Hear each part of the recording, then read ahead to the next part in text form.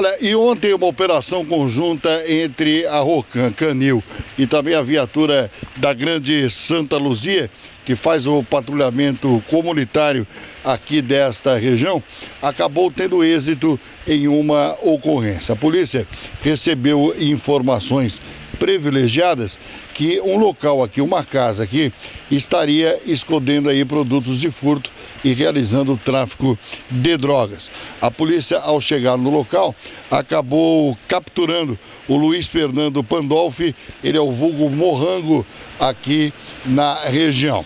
Junto com o Morrango, teve também uma apreensão de cocaína, também maconha e a recuperação de um veículo Toyota Fielder e também aparelhos eletrônicos, todos produtos de furto aqui da região.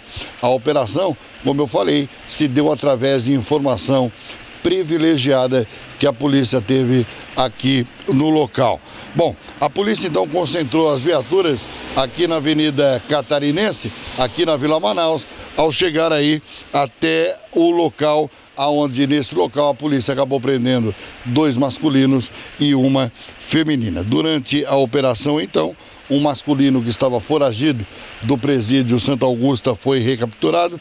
O nome dele é esse que você vê, o Luiz Fernando Pandolfi, mais conhecido como Morrango. 32 petecas de cocaína, três porções de maconha, dois televisores e um roteador. Esses produtos de furto, além de um veículo Fielder com placas final 5655, que estava com registro de furto.